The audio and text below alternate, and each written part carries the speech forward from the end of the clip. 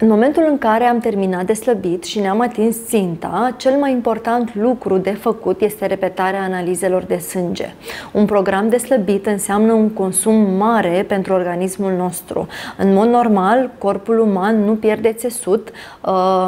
în viața uzuală, uh, doar în anumite patologii destul de grave uh, se pierde greutate. Și atunci, pentru că slăbitul și dieta reprezintă pentru corp corpul nostru o supra-solicitare, ficatul fiind nevoit să transforme țesutul gras în energie pentru a corecta deficitul pe care îl facem prin balanța aport-consum, va trebui la sfârșit să ne repetăm analizele de sânge.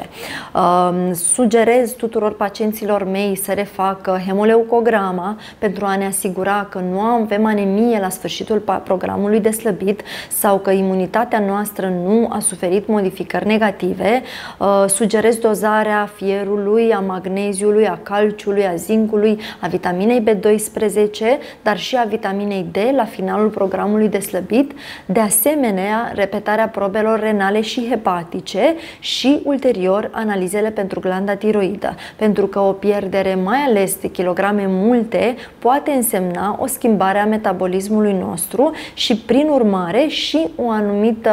recadrare, re redimensionare a secreției hormonale. Așa că glanda tiroidă, fiind un promotor atât al slăbitului cât și al îngrășatului, dacă nu avem grijă uh, să facem analizele și să ne asigurăm că este într-o condiție bună, că nu avem hipotiroidie sau hipertiroidie, este întotdeauna de analizat.